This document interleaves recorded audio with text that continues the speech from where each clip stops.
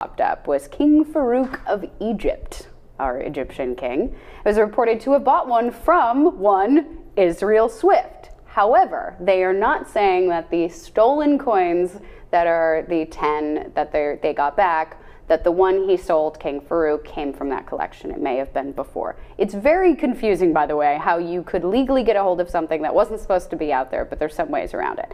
He had bought it and later sold it at auction. Uh, in 2002, King Farouk's coin was sold at auction for $7.5 million at Sotheby's. Hmm. Uh, so it is said that the coins originally were given to Switt by uh, a man named George McCann, who worked at the U.S. Mint and one of the only people with access to the double eagles.